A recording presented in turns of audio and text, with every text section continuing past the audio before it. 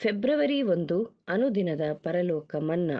ಈ ದಿನದ ದೇವರ ವಾಕ್ಯ, ನೀವು ಬಲಕ್ಕಾಗಲಿ, ಎಡಕ್ಕಾಗಲಿ ತಿರುಗಿಕೊಳ್ಳುವಾಗ ಇದೇ ಮಾರ್ಗ, ಇದರಲ್ಲೇ ನಡೆಯಿರಿ ಎಂದು ನಿಮ್ಮ ಹಿಂದೆ ಆಡುವ ಮಾತು ನಿಮ್ಮ ಕಿವಿಗೆ ಬೀಳುವುದು.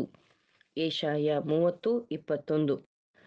ನಾವು ನಮ್ಮ ಜೀವನದ ಅನುಭವದಲ್ಲಿ ಸಂಕಷ್ಟದ ಸ್ಥಿತಿ ತಲುಪಿ ನಡೆಯುವಂತಹ ದಾರಿಯಲ್ಲಿ ಮುಂದೆ ಎಡಕ್ಕಾಗಲಿ, ಬಲಕ್ಕಾಗಲಿ ತಿರುಗಲು ಗೊತ್ತಾಗದೇ ಇರುವಾಗ ನಾವು ತಕ್ಷಣ ಪ್ರಯಾಣವನ್ನು ನಿಲ್ಲಿಸಿ ದೇವರ ಮಾರ್ಗದರ್ಶನಕ್ಕಾಗಿ ಕಿವಿಗೊಡುವುದು ಸೂಕ್ತವಾಗಿದೆ.